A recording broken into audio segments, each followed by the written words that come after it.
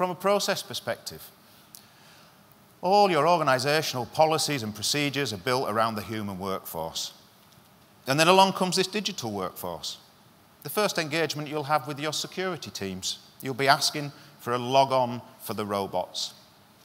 Usually, that's the first time the security team have even heard of these safe robots that are being allowed into the organisation. They've spent most of their careers defending your architectural estate from the invasion of the bots.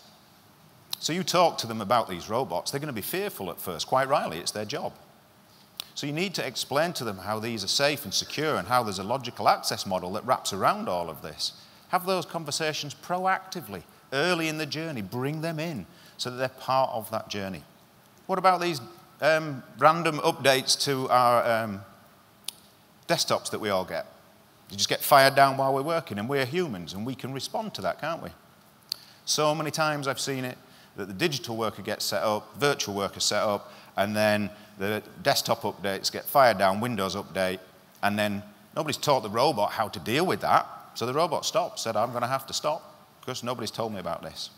So think of a policy that says, okay, the humans, they can get their uh, policies, their upgrades randomly, but actually what we'll do with the robotic workforce is at 2 a.m., we'll cascade it out to all of the robots. You've got control. It's a simple change, but it's the sort of change that doesn't happen unless your organization is truly embracing the digital workforce.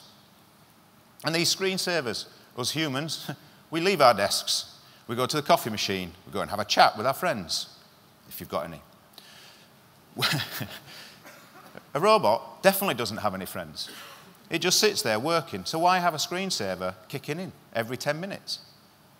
We see it sometimes where people write a process that actually nudges the screen every nine minutes to make sure the screensaver doesn't kick in.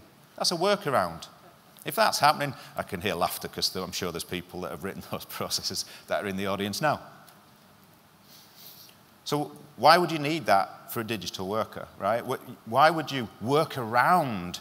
Why wouldn't you tackle that as a policy and say, look, we need to have policies for our robotic workforce? So I can always look at an organization when I, when I talk to my customers, and if I, if I see these sort of workarounds, it tells me that there isn't this true cultural adoption across the organization yet. It'll be teams that are driving it forward, driving forward the establishment of a COE, but without truly the organization buying in to exactly what it needs to establish the digital workforce. So this Think Robot here is about evolving the policies for the digital workers.